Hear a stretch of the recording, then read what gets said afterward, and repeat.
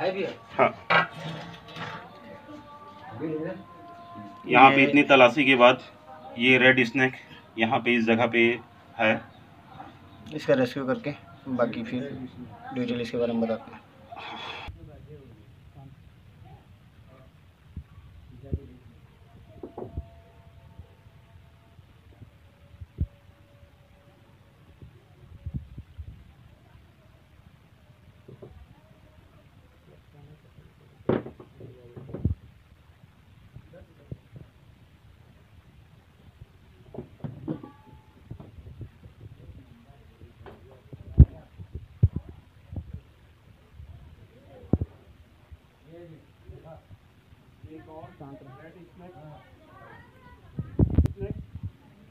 जिसका यहाँ पे सफलतापूर्वक रेस्क्यू हो चुका है।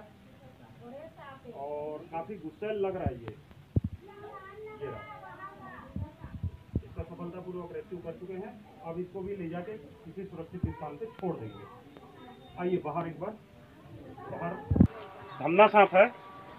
और आप लोगों को मैं एक जानकारी देना चाहता हूँ। कई लोग बोलते हैं कि इसके पूछ में कांटा होता है, जहर होता है। जिससे मारता है तो आदमी का मांस गलना चालू हो जाता है या कुछ तकलीफ़ होता है। इसके पूछ को आप देख सकते हैं कोई भी प्रकार से इसमें जहर नहीं रहता है। ये कभी पूछ से मारता ही नहीं है ना ही इसके मुँह में जहर रहता है ना ही इसके पूछ में जहर रहता है। वो सब अफवाहें हैं कि इसके पूछ में जहर रहता है।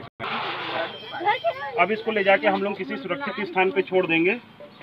आ, लोकेश मालाकर के साथ मैं जयनारायण खर्रा सर्प मित्र टीम रायगढ़।